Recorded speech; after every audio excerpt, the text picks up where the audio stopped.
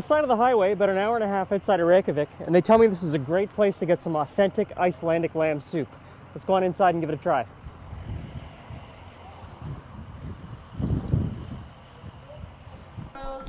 They wouldn't find out. Sat there. That's uh, If you want more soup, don't be shy. Just shout out and I'll bring some more. Great. just tomato soup for these. Yep, yep.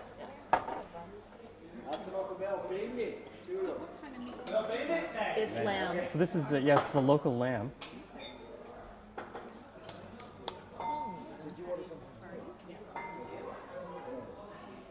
It's local Icelandic lamb. Yes, this is a tradition uh, uh, th- throughout the times. The uh, throughout the times, the, the farmers, the local farmers ar- uh, around here, have, have herded the sheep over the summertime to graze on the highlands. Uh, in the fall, because all the sheep gets mixed up, and in the, in the, in the fall, the farmers go up to the uh, highlands, and they pick up uh, and to get to get the sheep.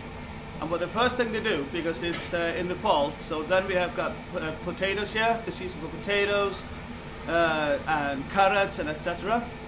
So they bring with them fre- uh, fre- fre- fre- fresh vegetables, and then they take a sheep and slaughter that. And then pretty much everything that is uh, grown in, that's possible to grow in the country, uh, anything that is possible to grow in the country is uh, is uh, is taken and really put in one stew. It's it's really not right to call it a soup. It's it's more of a stew. For example, you might pr- probably know better of the uh, of, for example, an Irish stew, Yep. which is very similar to what we have here.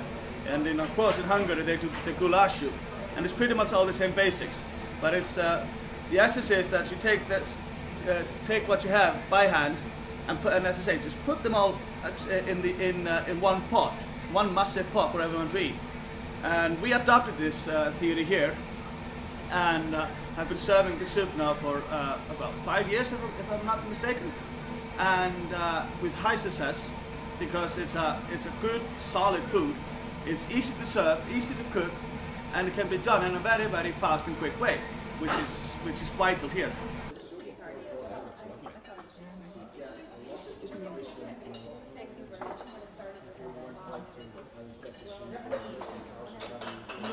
That lamb is really good. Is it? Yeah.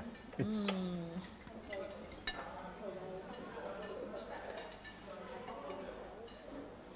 Salt and pepper and vinegar. I'm liking the Icelandic lamb soup. So what, what, what we are doing, what, what we actually do have, is uh, is, is is wild is, is, is wild lamb. This is not this is not factorized lamb, so it has got uh, much fresher and, uh, and and much more uh, mu- mu- much more flavor to it than regular lamb that you would get uh, abroad, for example, where it's all where it's all mass ma, ma, ma, mass farmed and and eat, eat, eaten off uh, eaten off uh, s- uh, highly uh, what you say the grains yeah. and stuff, yeah. yeah, yeah. But what we have here is actually wild stock.